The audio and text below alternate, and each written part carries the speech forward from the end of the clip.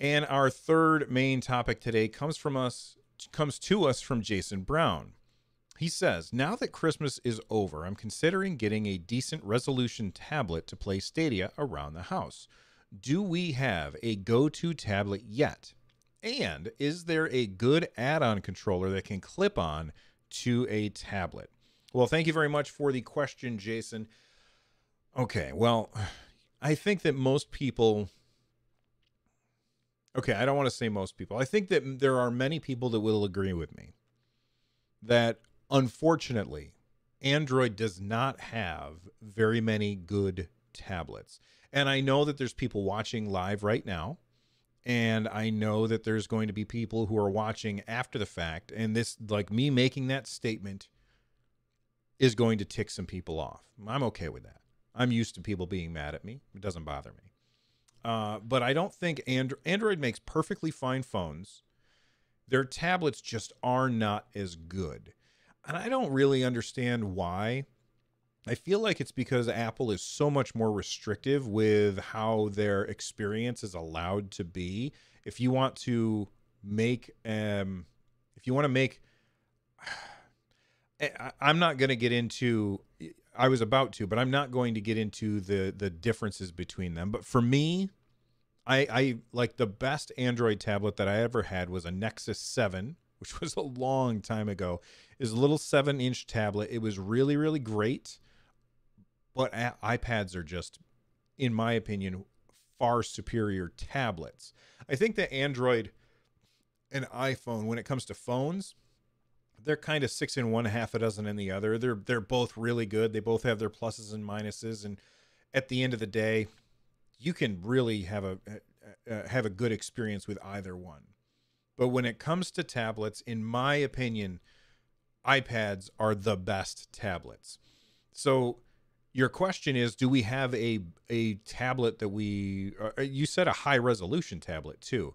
I don't think that resolution is super important when it comes to a tablet either because generally it's a smaller screen and so you don't need to have a super high resolution. I think you're fine with anything that's basically 1080p. Um, I know that uh, iOS has a weird resolution for the iPad. It's not 4K. It's lower than 4K. It doesn't matter because that thing looks awesome. i have got the um, the 12.9 inch um, iPad Pro right here uh, this is my main tablet. Honestly, this is my main computer, uh, and I use this thing all the time. Uh, this this is my main tablet, and it's awesome. It's really it's my only tablet. It's my main computer. It's really really good. Uh, the screen looks absolutely gorgeous. It's got a really high uh, refreshing uh, frame rate, so 120 hertz frame rate. This thing is fantastic. The 120 hertz doesn't do anything for you on Stadia because Stadia is limited to uh, 60 frames per second. The resolution when I play on my iPad is obviously it's going to be 1080p because it can't go higher because this is not a 4K screen. And it looks great. So I, I don't think resolution is really the thing that you want to look for when it comes to a good experience for playing uh, Stadia on a tablet the thing that I think you want to look for when playing Stadia on a tablet is uh, three things battery life. How long is the battery life on your tablet? Portability. How light is the tablet? You want it to be extremely light. And uh, the last thing is what else are you going to use it for? So when you once you've answered those three questions, then you can start get deciding which tablet you are going to go with. For me, it's always going to be iOS because I don't I don't foresee them making uh, an Android tablet that is going to be better than my iPad is. I just absolutely love this machine. I use this for a lot of different stuff though. I use it for right now during the pandemic uh, as a teacher. I'm making tons of videos for my students. And what I do is I set up my my phone as my camera and I record my screen and this is my chalkboard and I am making videos and then I use AirDrop to take the video from my phone and put it onto my tablet and then I got the video from my tablet, the video from my phone and I use Luma Touch to edit them together so that my students can see my face while I'm teaching them what is happening on my my chalkboard basically. And like I use that all the time. So I'm doing video editing, I'm doing image editing, I'm doing recording stuff. All of that stuff is happening on my tablet. So I have to have stuff that I, I want to have a big screen because that makes video editing better. If you're not doing all of that stuff, then I would say get a smaller tablet, especially because you mentioned in your question something along the lines of having a controller that is going to hold onto the tablet I'm not going to tell you how to live your life, but that's going to be a horrible, horrible experience. It, tablets are heavy. Uh, I mean, compared compared to other stuff, they're not super heavy, but this is this is a pretty hefty device when you are not for its size, but can you imagine having this balanced above your controller? It's you're gonna have it's gonna pull your hands down. So no, I don't think that that's going to work. Now, can you get an old like Nexus 7? Possibly. I don't know what resolution that is. Uh, it would be really, really light. It would be small, but at that point, just spend the money on having a bigger phone, and then you have a bigger phone to use with Stadia as well. So, um, here, here's my recommendations.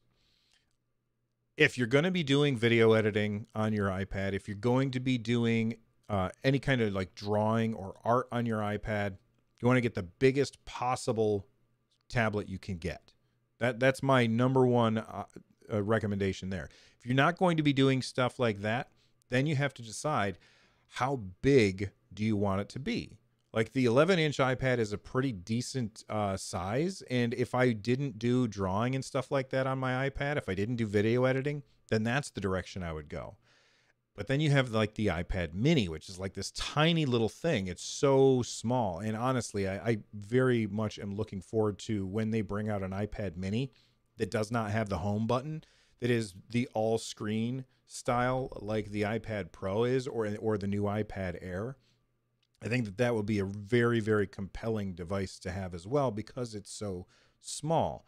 Um, so yeah, you really have to decide what are you going to use this for other than just Stadia. And once you've made that decision, then you can decide what you're going to use it for. Buying a tablet just for Stadia, I don't know that I would. I mean, as much as I, I would, you know, if I were going to buy a device just for Stadia, I would buy a Chrome a Chromebook because it's uh, it's going to be really cheap. It's going to be really light. It comes with like because it's a laptop instead of a tablet.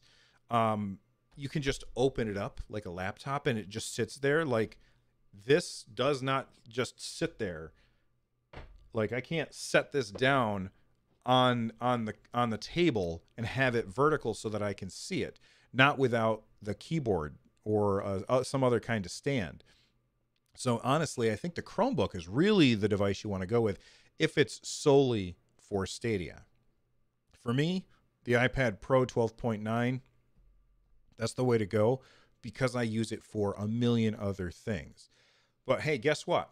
There's a lot of other people that are going to see this and maybe they're going to have a better idea for you. So, if you use a tablet for Stadia, leave a comment down below and tell everybody which tablet that you use and why, uh, and maybe that will help out our uh, our um, our questionnaire, uh, the the person asking the question.